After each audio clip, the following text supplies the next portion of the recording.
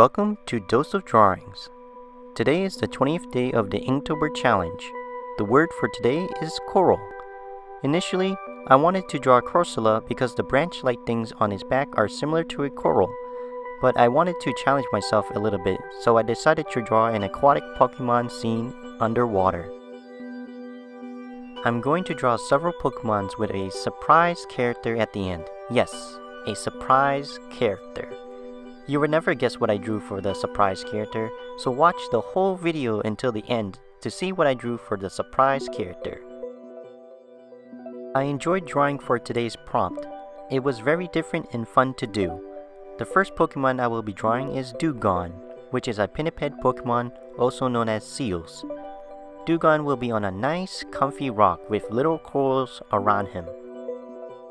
On the bottom right side corner of the ocean floor, I drew Staryu, which is a starfish Pokemon. Swimming above the ocean, there are going to be three Pokemons which are Corsola, which I mentioned before, Horsea, which is a seahorse Pokemon, and Mantyke, also known as a stingray Pokemon.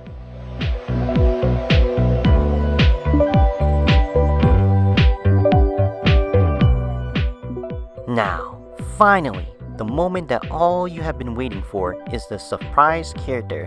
This was unexpected and not planned, but I wanted to add a little twist, and it is the one, the only SpongeBob SquarePants.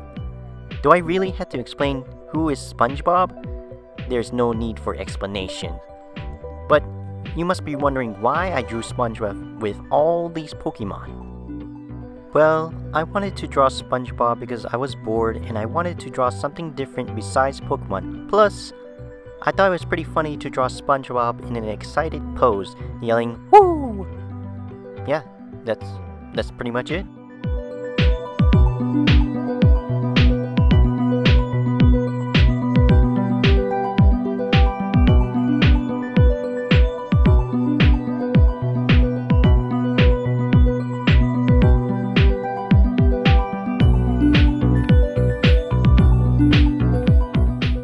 This is the final result of the drawing.